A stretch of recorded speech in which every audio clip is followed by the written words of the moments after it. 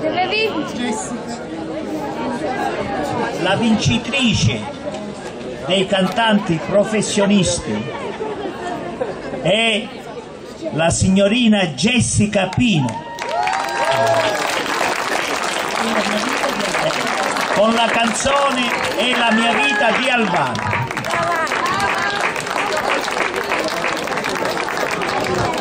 Lo dico